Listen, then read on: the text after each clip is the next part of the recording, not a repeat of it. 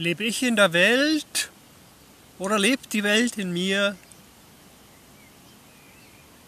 Lebt die Welt in mir und ich in der Welt? Die Welt lebt in dem, was ich bin und das Ich lebt scheinbar in der Welt.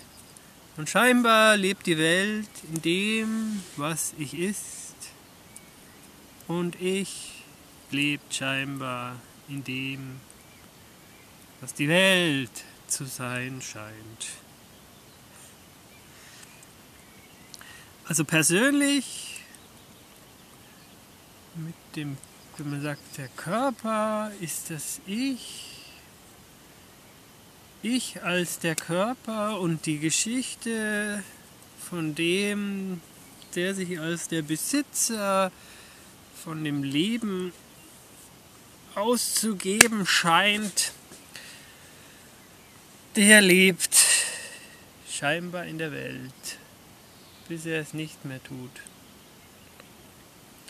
Und jetzt von der Vorstellung ausgegangen, dass die Welt eine Vorstellung ist, ganz individuelle Vorstellung von mir, so lebt sie in meiner Wahrnehmung.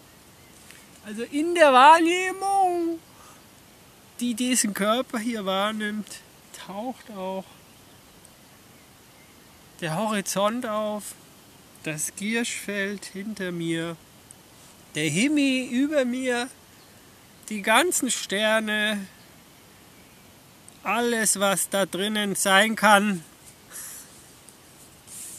taucht in dieser unerkennbaren, nicht wahrnehmbaren Wahrnehmung auf. Oder die Wahrnehmung ist schon was Wahrgenommenes.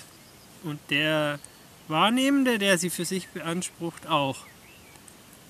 Und das, was nicht wahrgenommen werden kann, was die Wahrnehmung ist, wird auch nie in der Wahrnehmung in Erscheinung treten.